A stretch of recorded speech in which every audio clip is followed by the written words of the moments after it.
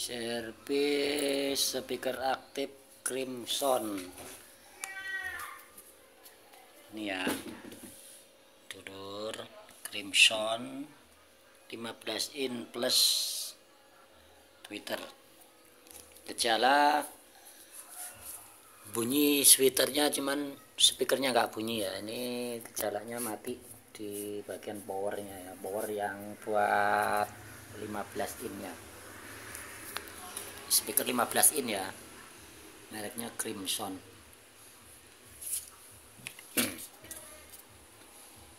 Ya hmm. bagi teman-teman yang mempunyai kendala ataupun punya kasus seperti ini power mati yang bunyi cuman twitternya arahnya yang bunyi nah ini ya. Ini udah di servis ya udah clear. Gejalanya ini dari IC PWM nya ya. Nah itu ya ini sistemnya kelas D. Kelas D ya ini IC nya memakai IRS berapa itu?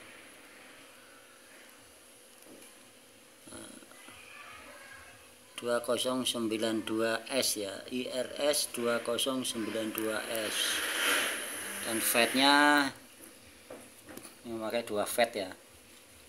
Fatnya ini memakai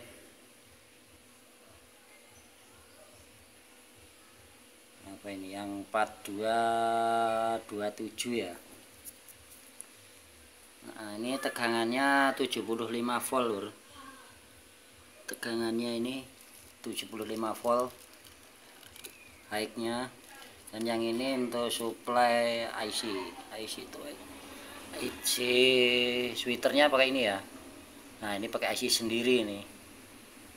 Jadi nggak gabung dia sama speaker 15 ini nggak jadi satu nggak sendiri-sendiri ya. Nah, ini 15 volt ini ya suplainya dan yang ini 75 volt. Nah ini untuk tampilan. Nih pakai aqualizer ini ya. Pakai cok songket canon nah ini masternya. Ini ada pendingin lagi di belakangnya loh. Speaker in aktif aktif speaker nah ini trafonya lumayan besar ini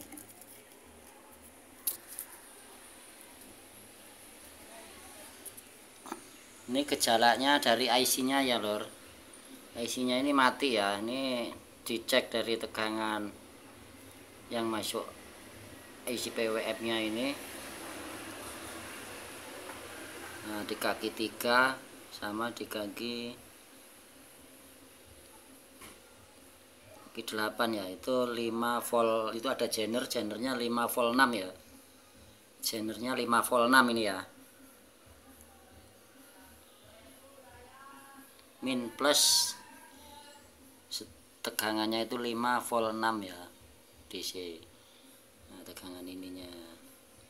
Dan untuk di kaki nomor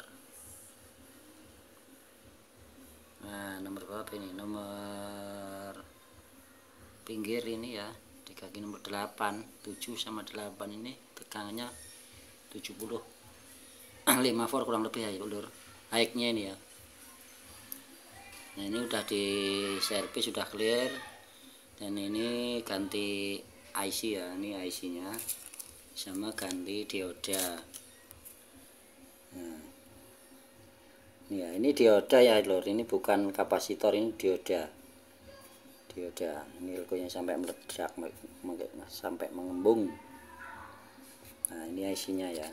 Ganti IC IC jener dioda 2 ampere ini ya. Tuh nampakannya di dalam. Ini diodanya diganti dioda biasa ya 2 ampere nah tuh. Ini yang buat rekan-rekan atau buat teman-teman yang punya kendala speaker crimson mati. Yang bunyi cuman sweater ya. Untuk speaker 15 nya nggak hidup. Ini cek dulu dari tegangan IC ya tegangan IC itu nah, 5 volt 6 nya keluar enggak kalau dia enggak keluar berarti IC ini short. Oke ya buat teman-teman sampai di sini dulu ya. Ini kebetulan sudah clear ya ini kita coba tes. Colokan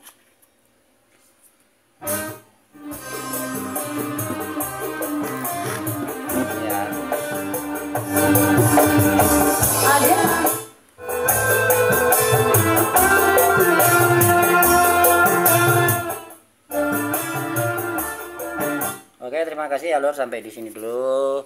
Mudah-mudahan video ini bermanfaat buat rekan-rekan semua ya. Sekian dulu dan sampai jumpa lagi di kesempatan yang berikutnya.